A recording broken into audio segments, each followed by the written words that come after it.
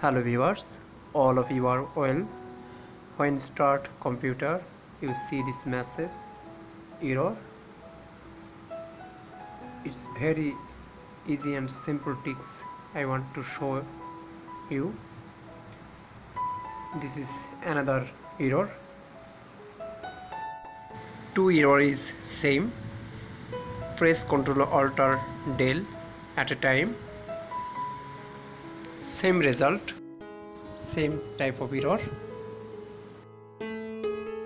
If you saw the type of error you uncovered computer back part and follow the instruction.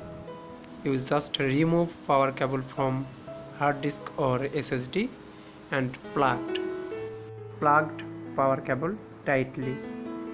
And then you start computer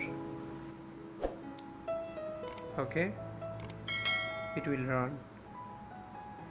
Thank you so much for watching this video